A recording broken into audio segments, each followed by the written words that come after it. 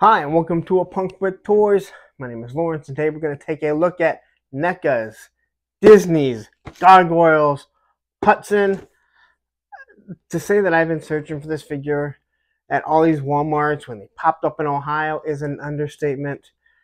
One of my toy stores finally got it, Sergeant Red, so I picked it up. We're going to take a look at it. We're going to open this thing up, and we're going to review it because I don't like keeping toys in plastic. They don't want to be there and they're already plastic. So anyway, before we get started, you know the drill. Take a second, hit that subscribe button, like the video, and hit the bell notification so you're notified anytime I do one of these videos, especially the gargoyles, because we know there's a lot of gargoyles coming out. So anyway, once again, the NECA artwork is absolutely wonderful. Imagine if this was Hasbro, this is what the plastic-free packaging would look like, but NECA lets us open it up and you can actually see that figure and you can see he's got a second head, he's got a big old sword, and he's got big old wings and we know they do there. So there's a picture of the figure. This is Hudson. On the side there you have his angry face. And on the back you have all the different poses that NECA does. And I've said this before, not to put down any other toy photographer, but NECA has honestly some of the best toy photographers ever. Um, you know, there you have, there he is with Bronx just petting the dog, and here you see all the figures that are coming out. So we got the majority of them, but we're gonna be looking for this little guy. We're looking for this little guy, and this little guy, and anyway, let's stop looking at me. Let's open this up and take a look at it. And then you can decide if you want to expand your wings into a big world of gargoyles. All right, so he is out of the package, and let me just say, he does have a good amount of stuff. He runs anywhere from thirty-five to forty dollars. I think these are really good prices for the for how much plastic you're getting. Now, right on the bottom, you can see they have pegs, but you can also see their feet are huge. If you need some sort of stand, I guarantee you the weight of these and the size of these is going to topple over that stand. So anyway, quickly, I'm going to take a look at him. So get everything that he comes with. And here we have the giant wings. Again, this has been a complaint of a lot of the collectors of how big the wings are. We've already seen Goliath have the folding wings. I believe Demona is going to get the folding wings with Lexington. So I like it if you pose them behind each other. It really doesn't cause too much of an issue. You're already going to use a lot of space because of how big the actual figure is. He does come with a bunch of hands. So here we have a couple clawing hands. He has a kind of an open an open fighting hand or a swapping hand. Who knows what that is. And then he has one hand two different hands to hold his sword.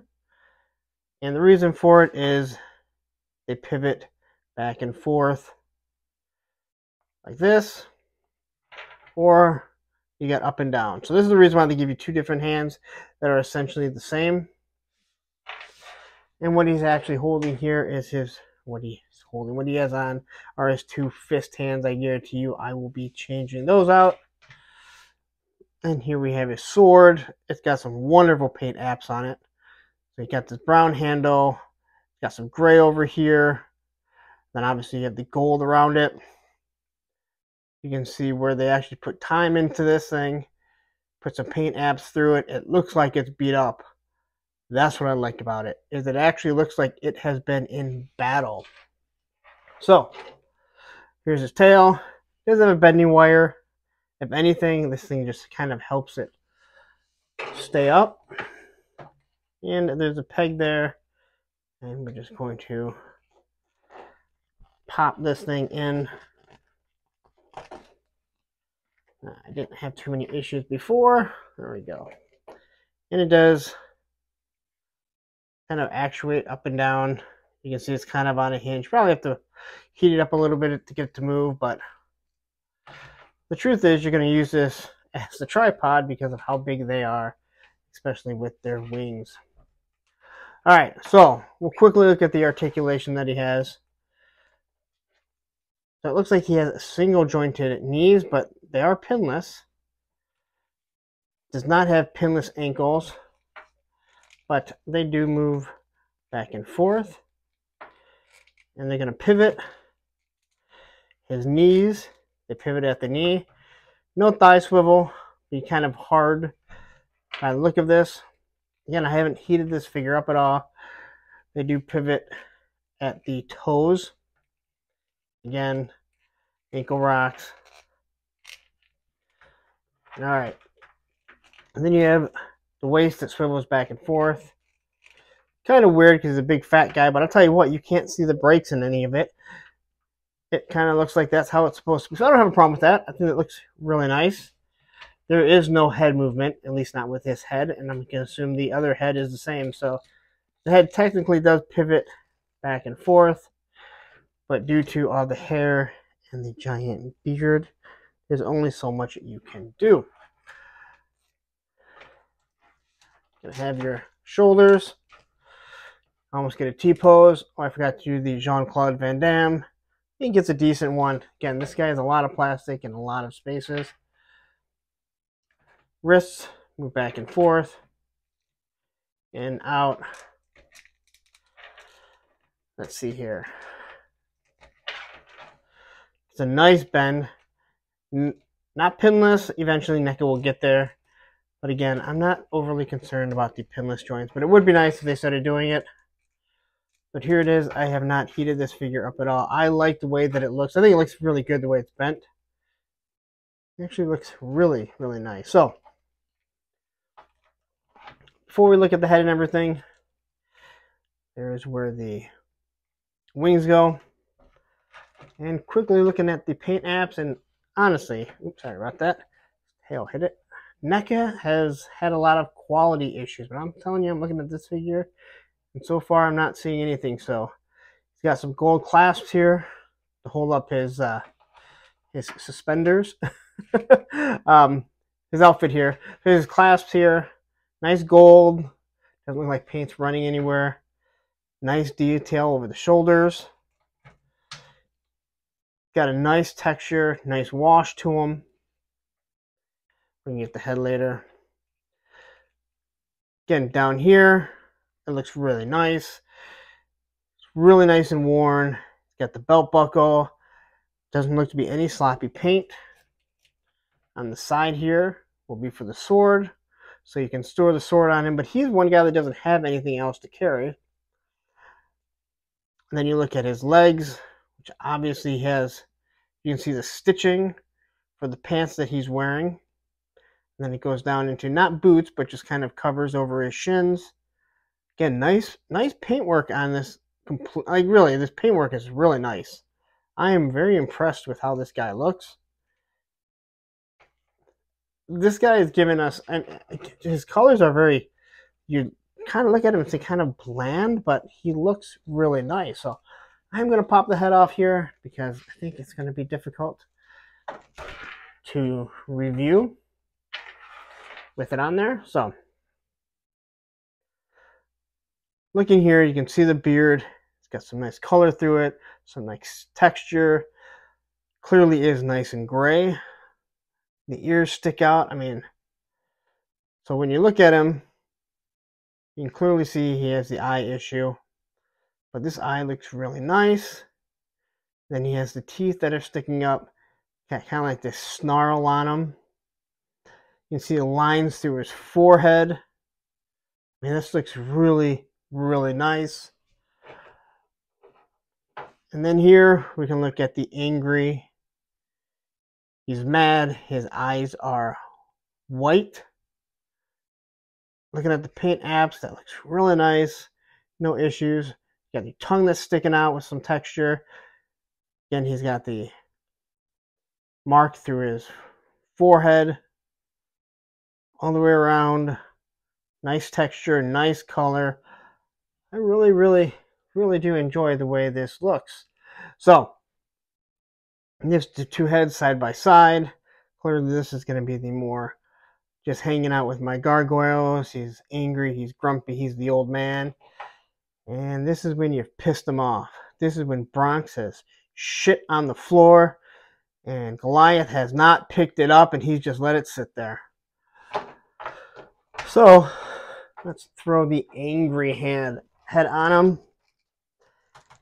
And again, you can almost just kind of pop this on it, considering you can't really do too much with it. Sure, it's technically made to move around, but with that hair, you can't really do too much. So there we popped it on. Let's pop off hands. Hands come off real nice and easy here.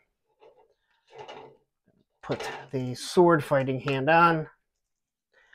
I'm going to get rid of this hand. I'm going to have a nice open hand like he's about to smash someone. Now let's get to the wings. So look at that. Nice detail. You got holes in it. You can tell this guy has been through a lot. Okay, and whether or not this is broken as he's been a gargoyle, you know, as stone, or during fights, it's hard to tell. But that's believe that's what it's made to look like. And here you have obviously the supports and the paint that goes through it. It looks real nice. And then you have this nice color texture to it. It's two-toned. So everything here looks really nice. And then you look at this one and it's different. It's not like they just made two of the exact same ones.